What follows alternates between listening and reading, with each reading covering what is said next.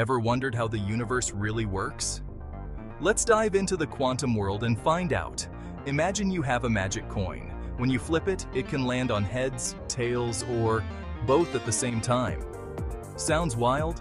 That's quantum superposition. In the quantum world, particles can exist in multiple states at once. Now, picture two friends texting each other. If one sends a message, the other instantly knows, no matter how far apart they are. This is quantum entanglement. Particles can be connected in such a way that the state of one instantly affects the state of another, even across galaxies. Finally, think of a busy freeway. Cars are zipping past, but some can sneak through gaps without crashing. That's quantum tunneling, where particles pass through barriers they seemingly shouldn't be able to.